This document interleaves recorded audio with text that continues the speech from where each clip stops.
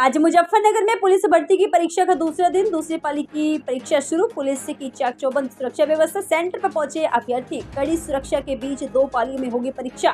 सल्वर gang और सिद्धिगंज पर कड़ी नज़र रखी जा रही है। सभी परीक्षा केंद्र पर लगाए गए सीसीटीवी। सर आज पुलिस परीक्षा की दूसरी पाली?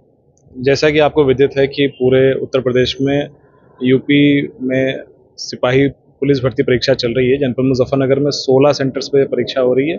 जिलाधिकारी और मेरे द्वारा समझ सेंटर पे कंटिन्यूस भ्रमण किया जा रहा है और परीक्षा को सुचितापूर्ण, सुरक्षित वातावरण में करवाया जा रहा है। आज समाधान